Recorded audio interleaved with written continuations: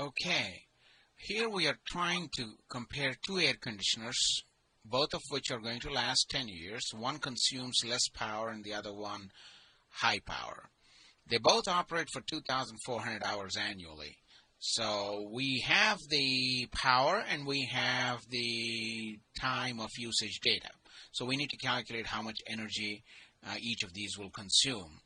So life of one our first air conditioner is 10 years and second one is 10 years. Power is 775 least efficient one watts and the other one is 700 watts.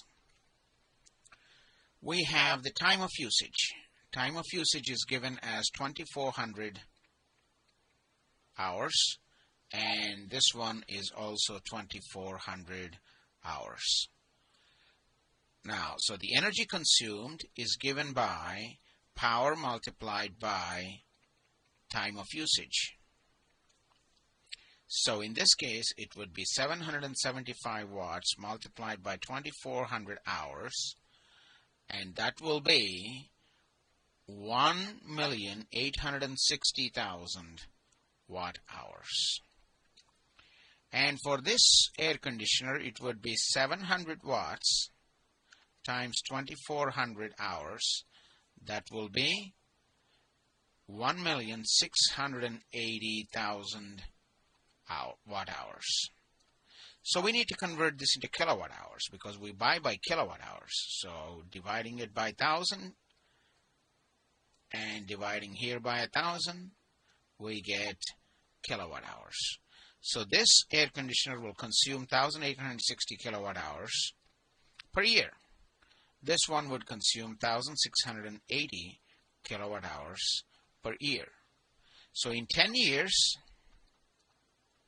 the energy consumption is 18,600 kilowatt hours. This is simply multiplying yearly consumption by 10 years.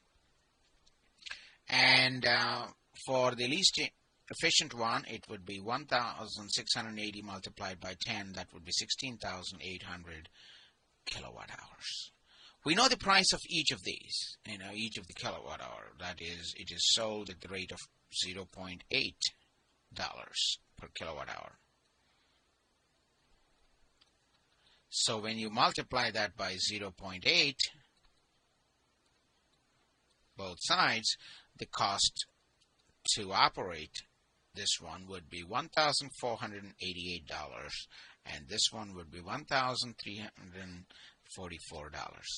So difference is $144, which means the least um, efficient one basically cost $144 one, $144 more, and the best one would be actually, even if it is priced $144 more, it would work out to be the same amount uh, in a long run over 10 years. Uh, but we will be helping the environment by not burning, you know, the difference between these two kilowatt hours, a couple of thousand kilowatt hours over 10 years. That would be the help for the environment.